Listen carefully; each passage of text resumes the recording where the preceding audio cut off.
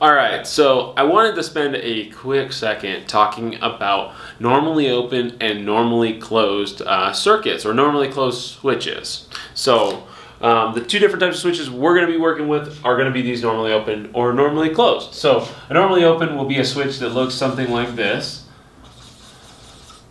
And it, this would be for a push button, while a normally closed would be something like this. And this will be for a push button too, okay?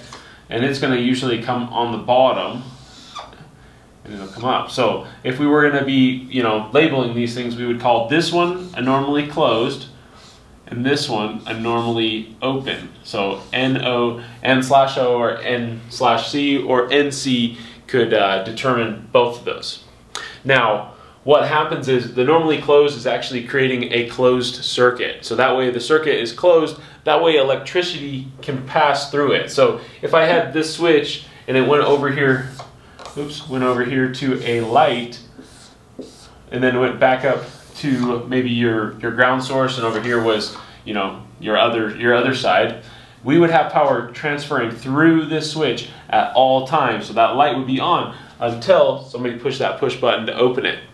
Now our normally open switch up here, if we had a light just like the same, set up the exact same way, it would not come on until that button was pressed. So this is a closed circuit while this one is an open circuit.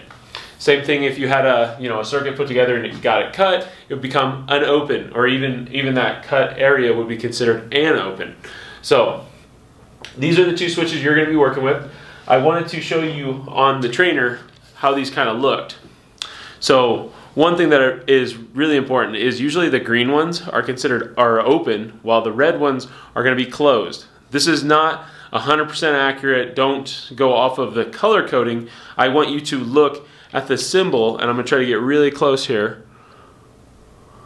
And you can see there's a symbol right here on the side. And that symbol is going to show you a switch, much like some of the ones that we've drawn before.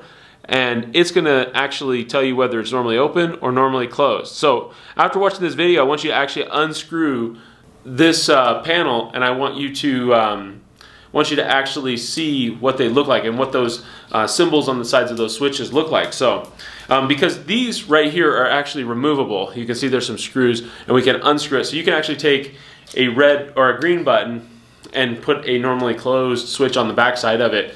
Also, you can have more than one switch on each one of these buttons. So, and there may be an activity where you're actually required to do that throughout this, uh, this class. So, um, but otherwise, that's all you need to know for right this second about normally open, normally closed. Um, I hope this helps you guys. Please get out there, get some uh, work done on those trainers, all right?